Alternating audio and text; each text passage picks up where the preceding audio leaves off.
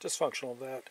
I bought this tank and this valve right up here, which is a 7556V, I believe, has uh, gone bad.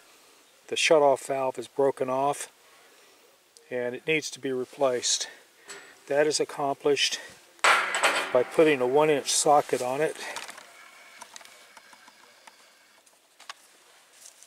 taking a handle, putting it down inside. Now I broke this free yesterday using a uh, three foot cheater. And now you turn this by hand.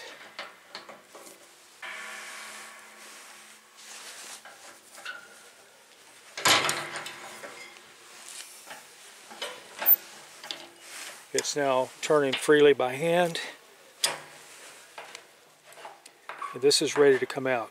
Now there's some hard Teflon or something right here. I'm going to break this off and use a little brass brush to clean all this off. You want to use something that will not produce a spark so that you don't get an explosion. I previously cleaned this off a moment ago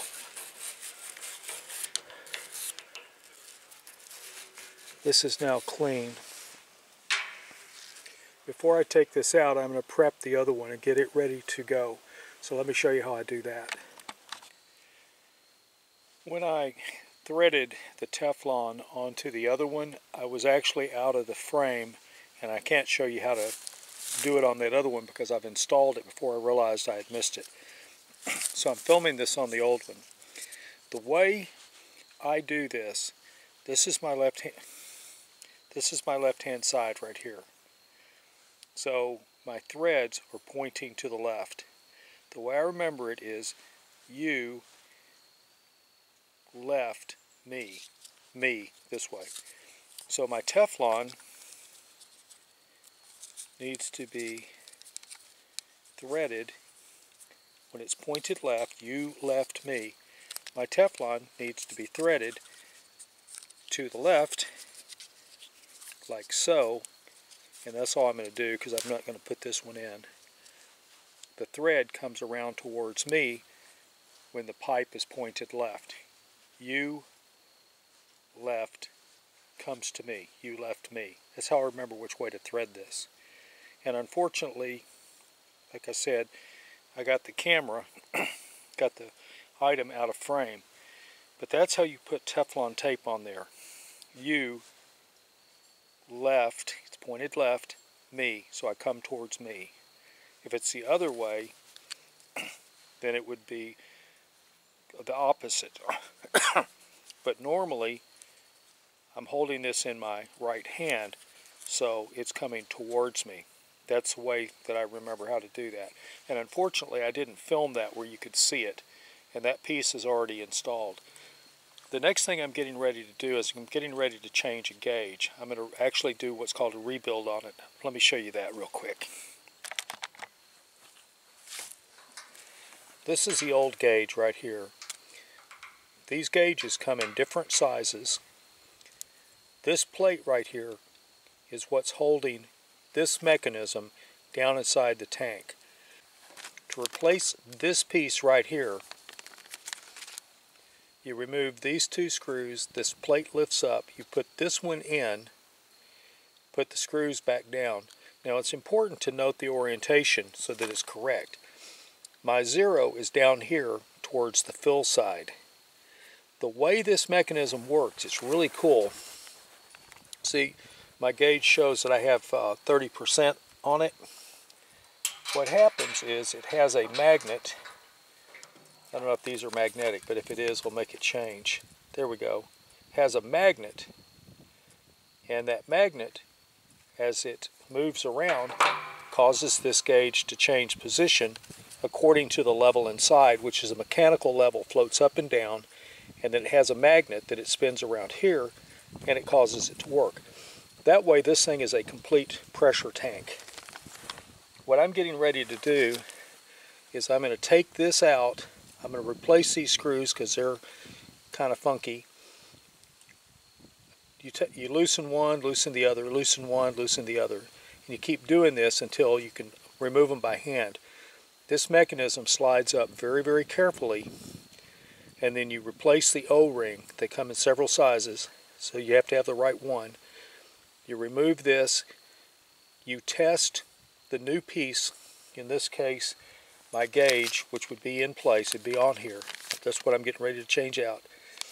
You would test your gauge, and after you tested your gauge to make sure the mechanical part was working, then you'd carefully set it back in place and put your screws back inside.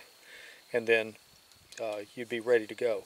Now I'm I'm rebuilding this tank. I'm rebuilding all the stuff that needs to be rebuilt on it. The valve, back off. This valve was just under 100 from the gas company. This top gauge was $8 and I bought a brand new large regulator, two stage, and I bought a new pigtail is what I'm calling this. It may have an actual name, but I'm just calling it a pigtail.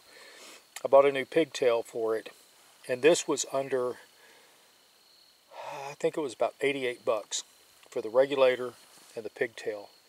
So right now I'm looking at almost exactly 200 bucks for the valve right here. Now let me tilt this for this valve, for my new regulator, my pigtail, and my new gauge and I got the gasket for free and they gave me the bolts for free.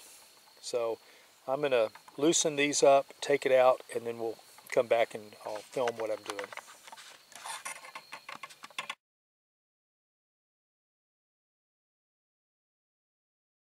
You're supposed to use a silicon sealant to reseal this thing.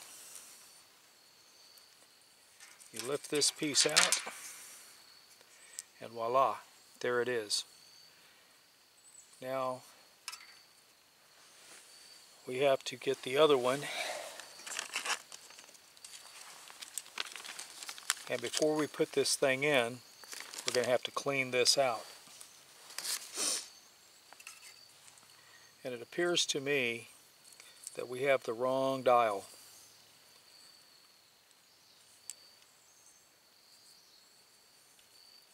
See if I can push it out.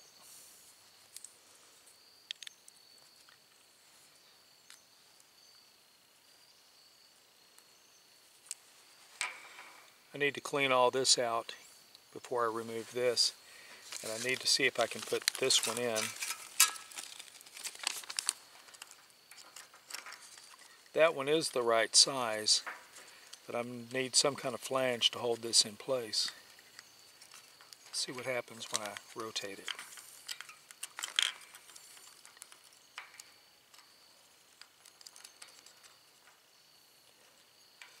it appears more or less that this is working. Now if you notice this is solid metal down here. I just need to clean all this out and then figure out what I'm going to do with this, seeing how this piece doesn't work with this particular fitting.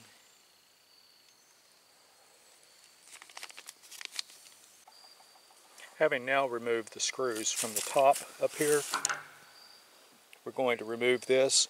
We're going to put our gauge on. We're going to test to see if it's working or if this piece needs to be replaced. Then we'll re be replacing a, gasket that's on the inside and we will be reassembling it.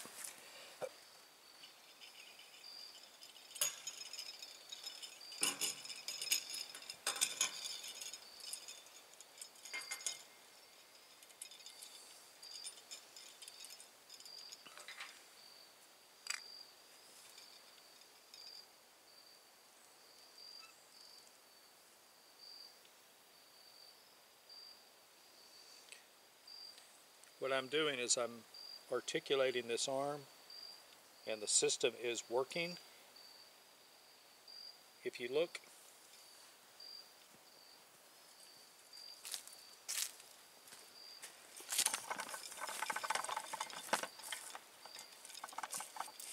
if you look right here there's a little gear system which turns the magnet at the top that causes it to work properly. So now what we're going to do is we're going to put this back in and we're going to put a gasket on this and then we're going to seat it into place. If we have the right size gasket, we're going to do that. We don't have the right size gasket, so we are going to have to get this gasket out. I do not want to damage this.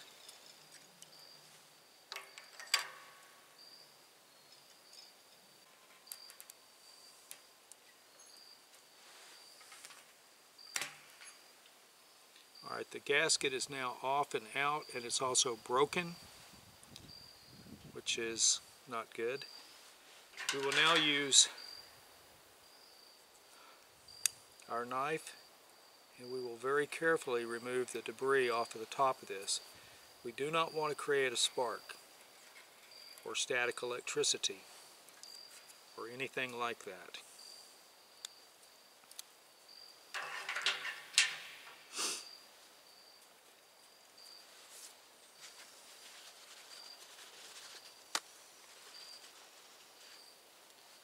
Paper towel.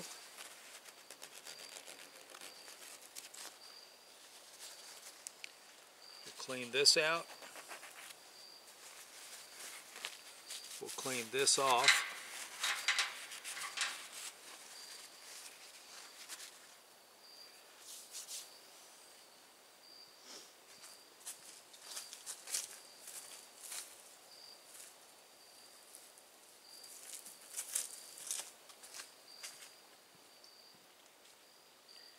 Will measure this diameter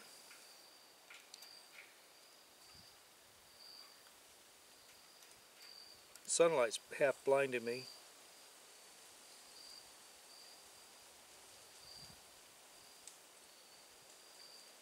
It is 1 and 9 sixteenths in diameter. 1 and 9 sixteenths diameter. So we want to write that down. Somewhere where I can see it. 1 and 9 sixteenths in diameter. That's this ring right here.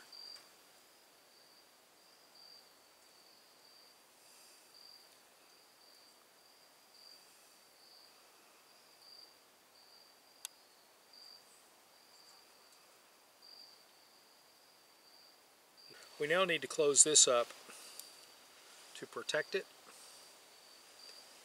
and we're going to put some screws in this to help hold it in place and help keep everything clean.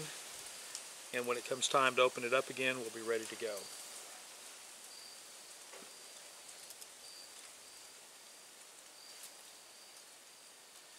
It is very important when you're putting this back together to get it in the right range.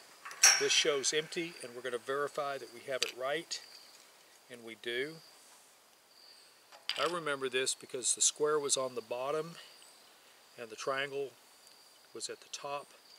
So we now put this back in.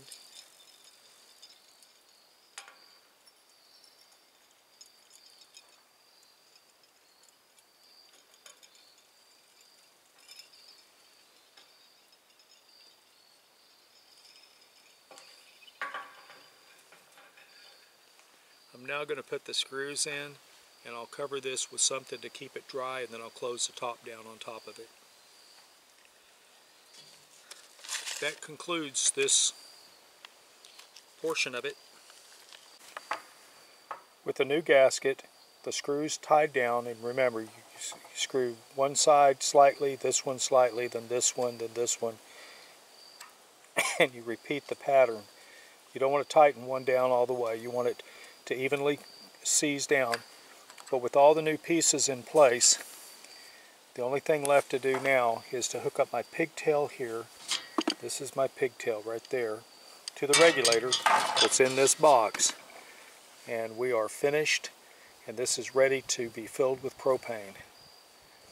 I hope this helps. I hope this was a good introduction to propane tank repairs. In many states you can't do this. Texas is still legal to do this. Otherwise I'd have to pay somebody to come out here and do everything I just did for myself. Now the instructions on this, I haven't put the glue down yet, the instructions say that this glues down with a specific type of silicone and in the instructions it tells you what silicone to use to glue this down. And we've tested it. We know it works. Life is good we're ready to have this filled with propane and get on with the winter. With that said dysfunctional vet out